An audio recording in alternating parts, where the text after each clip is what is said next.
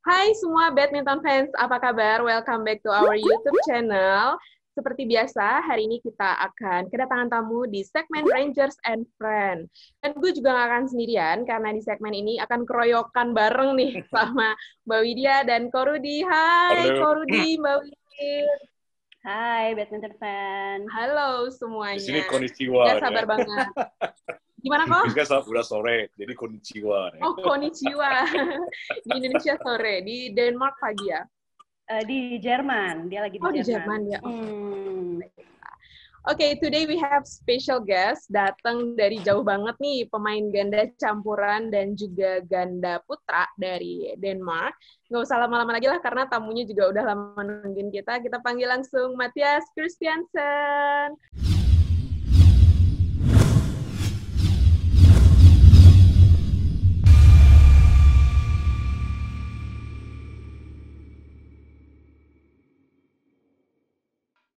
Ya, Hai. Halo. selamat pagi. Selamat pagi. Selamat pagi. Selamat pagi. Ya, selamat pagi di Jerman nih. Pagi di Jerman. Ya. Ya. How are you, I'm- Matthias? Ya, baik-baik. Terima kasih. Eh, saya eh, datang ke Germany sekarang, so saya di sini to uh, bermain uh, the tournament uh, Salalux Open. So uh, yeah, I'm very happy to be here. So, Yeah, we also very happy to have you here karena aduh seneng banget kita pas tahu ada pemain Eropa yang ternyata bisa juga bahasa Indonesia. Jadi kita mungkin bakal interview pakai bahasa Indonesia nih. Apa gimana ya? oh, you expect me to understand that? Yeah, because the uh, the Navi said the uh, told the uh, badminton uh, badminton fans like you know so we conduct interview with you entirely in Indonesian. yeah. yeah, I mean, uh, yeah, I made uh, I made the interview at Denmark Open, uh, in Bahasa Indonesia, and uh, yeah, I've Yeah. got so many comments and so many messages from uh, Indonesians uh, who uh, who liked the interview and just like asking why I why I started to learn the language, and yeah, it's Yes, been so why? much fun. Like, Yeah, Huh? why? So we can ask you right Yeah. away now. Why? Wow. What Yeah. happened? Why, Can you yeah. share us um, from the first place? What happened? Yeah. So, Uh, I think when uh, when Corona came, I was uh, like a bit bored, like uh, had nothing to do, and yeah, practice only in a like limited. Uh, so I was like, yeah, I like using my head and like learning stuff, and then I think like, yeah, maybe I should try to learn Bahasa Indonesia, and uh, and I just tried, uh, yeah, tried a little bit, and I think it went well, and yeah, I just like I'm doing uh, a bit every day, and uh, it goes better and better. So uh, it was actually just because I had the time for it, and I thought like maybe I can commu- communicate with like you guys and uh, Indonesian fans, and uh, Mm. yeah, I- it, everything goes like uh, the n- news on Instagram and uh, everything it goes between Indonesia and the Indonesian fans. So uh, yeah, that's why I want to get closer to to all of that. Are you trying to tell me you try to compete with the uh, Viktor Axelsen, the one that speaks Chinese very, very well? yeah, definitely. I'm I'm definitely trying to compete with him. Uh, I think Chinese is uh, then I would I would definitely need some more time and uh, teacher and many many years, just like Viktor. But uh, I think Bahasa Indonesia is uh, a bit more easygoing than uh, Chinese Mandarin. So uh, you know yeah. what the good thing about it, like you know, It's uh, more Indonesian language, you don't need like you know like uh, present tense, future tense, past tense, everything. Don't need it. No. So you know the word never change. So that's No. that's good.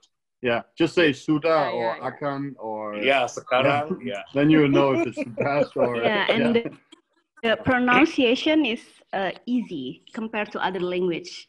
Yeah. Right? You just Just- read what's written on the text. I just read the letters and then uh, yeah, yeah. you just read the words. yeah. I think the So, uh, uh, yeah, it's yeah, like the uh, Viktor learning. but I don't uh, think like uh, is there a bit is there uh, like Malaysian uh, language and Bahasa Indonesia? Is that that's pretty similar? Or? Similar, Yeah. yes. Yeah. Yeah. So if you can uh, like, if you can talk Bahasa, then you can talk to Malaysians as well, or yeah. Okay, yeah. that's good. But I similar. think, yeah, 70, 80% the wording is similar. But let's say, uh, let's say um, the one word, let's say uh, Indonesia pusing, meaning like, you know, we headache. But in Malaysia, it said pusing, pusing twice, meaning you are like, you know, you go around. you call it? Yeah, go around. So, Okay. That's a good thing about Indonesia. You just say the if it's like uh, like more numbers, you just say the words two times. So like, yeah, if it's players, you just say pemain pemain. Then it's then it's more players. So Yeah, players. yeah, Players. you just say Yeah. the words two times, right? yeah, pretty easy. yeah, but be careful though. but be careful though. The uh, like you know, me and Navi just talk about it. They say uh, kuda is horse, right? Yeah, yeah. But you don't say kuda kuda. It's not When you say kuda kuda, you mean that you are on the standby, like you know, like uh, like you know, you're doing this Okay. kuda kuda, meaning like so. So you have to be a little bit careful. Yeah. Yeah. Yeah, there are some exceptions, but they are not many. They are not many. Okay. So Yeah, but Okay. in badminton world, uh, there's no kuda kuda, so no problem for you. Don't worry. Okay, Yeah. so uh, Mathias. Yeah. When the interview goes viral, um, so many uh, Indonesian fans give comments to your Instagram, asking, Yeah. "Oh, you can speak Bahasa Indonesia," and how do you feel about that? It, actually, it's been really fun. Um, it seems like uh, people got an understanding that I that I can talk it fluently because the interview went well. But uh, I'm yeah, I'm just about learning. Uh, so uh, maybe give me half a year more when I come to Indonesia again, then I can talk it fluently with you guys. But um, right now, it's uh, it's still difficult to me. It's really difficult to like uh, understand Indonesia talking and then like get it in. I need like subtitles or something to to understand because yeah, of course it's going really really fast. But uh, it's been so much fun, like with all the comments and all the messages on Instagram, texting uh, with Indonesian fans and players, and yeah, it's it's been it's been really really fun. And uh, yeah, I'm also learning by texting uh, Indonesian um, yeah Indonesian fans and so so yeah, it's been really really fun Mm. And it's really really motivating as well to like keep on going and uh, learn uh, Bahasa Indonesia like totally fluently. So uh, hopefully one day. yeah, but it's a one advice though. Don't learn Indonesian through my players. If they, they, they could teach you bad words. I think. yeah, for sure. yeah, they shouldn't be. T- they shouldn't be learning me bad words. Good words. But somehow a funny thing, like you know, you remember the bad words than the good words. So. Yeah. To Easier. more easy. So, uh, Mathias, uh, beside Indonesian language, maybe can you speak another language except English and Denmark, Danish? Uh, I think um, just like you have with the indonesian and Malaysia, we have that with like Sweden and Norway, uh, so the Scandinavian countries. So um, I can speak with, I can understand Swedish and like the Norwegian language. And uh, in school, I also had like the German language. But as you Mm. know, the German the German language is very very difficult. Um, but uh, when I'm here in Germany, Germany right now, I can like I can do a little on uh, on uh, on German, and uh, I can understand people in the like in the shops and so on. So a little bit of German, but like mostly uh, English and Danish, of course. Yeah, I So, think uh, remember the uh, in the high school. I mean, the uh, in Jakarta, we have two choices. Besides English, you have to learn Dutch or Deutsch. So uh, that time, I think we learned that Deutsch anyway. You know the difficulty, but learning German, you have to memorize like a das, The das, feminine die, and der, whatever. yeah. And then some of them doesn't make sense. Yeah. So why Yeah. this one belong Yeah, to genau. like you know girl? like you know, why doesn't to belong to uh, you know, I mean, you know what I'm saying, like a feminine, masculine. I mean, not easy. Yeah. Yeah, I need to memorize. That's not easy, and the grammatics in Germany is very difficult, and uh, you Yeah. can't just say Suda or Akan, or uh, you have you need to like like put the sentence together in a weird way, and uh, yeah, it's very very difficult German. So Okay. uh, yeah, mostly English. yeah. But you have Huh. you have English in school as well, right? Or Yeah. yeah. yeah. Now, now everybody, the young generation now Speak in the school now, they learn the uh, English now, so uh, it's a must. So okay, but Yeah. do you have Chinese in school or? some, Yeah. Some of the Some, earlier okay. education, yeah, they teach Yeah. Chinese, Okay. Mandarin. Okay, and then you could choose between Deutsch and what was the other language? Dutch before. Oh, Dutch. Uh, in my time, in my my time, time is French, Ah, French your or. Dutch. okay, okay. Dutch. But now I don't understand both. no. No. Okay, Mathias, enough about the language. Uh, Yeah. I want to move about uh, to talk about your badminton career. Um, Yeah. I just want to know what is your highest goal? What is your dream in your badminton career? Uh, definitely to be world number one and to to uh, to win all the biggest tournaments. I mean, uh, we are.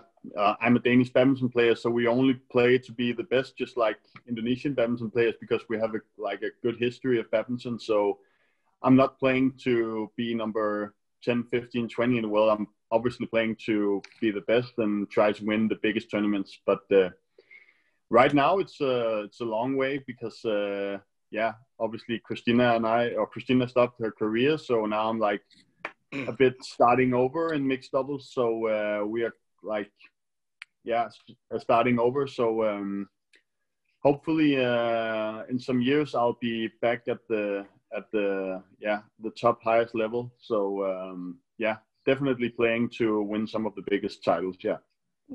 Are you Yeah. focusing on the mixed double or both? Uh, mixed doubles. Mixed Um, doubles. Also, yeah, I'm also playing uh, men's doubles, but the main focus is definitely on uh, on mixed doubles. Yeah, Mixed double. Mathias, I'm in the uh, Ganda after pairing Campuran. with the uh, Pedersen. Yes, ganda campuran. Yeah, Ganda in, Campuran. uh, so Mathias, after your pairing with the um, Pedersen before uh, Yeah. she retired, I mean, the uh, what did you learn from her? Uh, a lot. I think uh, obviously Christina was very experienced, uh, so uh, like handle um, tight situations in matches and like handling big games and try to stay calm and all those things I learned from Christina. Christina. I mean, um in practice and uh, traveling and all that stuff, I've been like on the tour for many many years, so it's not that's that was not new to me. It was like playing the the big matches and uh, yeah, try to perform as good as possible. That yeah, that uh, she helped a lot with. So um, she was a very experienced player, and uh, I think we had a good partnership. So yeah, it was too bad that we couldn't continue, but that's that's how it is. Uh, sometimes uh, she had to focus on family. So yeah, that's how it is. Because I saw her like you know a um, few times. You know, she tried to calm you down. I forgot what match is that. I mean, she's very good at it. I mean, like you know, I mean, she's really uh, focused. I mean, the uh, I mean, what a great player. I mean, Yeah, yeah, I'm I'm very emotional, and she was very calm, so uh, she could calm me down a bit when uh, things got hectic, and uh, so so uh, that was that was good. Yeah. Uh, and um, many people says that uh, badminton is dominated by Asian player. Um, do you feel the same, or how do you respond about mm, that that that thing? Yeah, definitely. Uh, I think uh, in my category, like Ganda Campuran, uh, I think actually the the European uh, pairings are doing very very well. Uh, I think we have a lot of good uh, European pairings who is high on the ranking and also can compete with the best Asians. Uh, I think in mixed doubles we have uh, the two Chinese pairings and then also yeah the Indonesian pairing Praveen Jordan and uh, Oktavianti. They are playing really really well, but um, in I think in mixed doubles we have a lot of good European pairs, but if you see overall, of course, it's uh, Asians uh, dominating uh, badminton. That's yeah, that's how it has been for the last many, many, many years. So uh, yeah, but we try to stick up in Europe, but it's very difficult. It's very, very difficult. So uh, yeah. But you have the uh, the one German pair, right? The one the won the Denmark Open a couple of weeks ago. Yeah, that one's very good too and also Russian, I believe, right? He one Russian pair and also one French pair as well. Are very good. Yeah, and then two English pairs and uh, oh yeah, yeah, yes, uh, men's double. yeah, and a Dutch and a Dutch pair as well in mixed doubles. I think all of those pairs are in the top twenty, so that's very unusual for Europe that we have so many, so many pairings in the top twenty in uh, in mixed doubles what do you think the uh, European like you know uh, do well in mixed double like compared to uh, women double or men's double? Mm. Oh, yeah, that's a good question.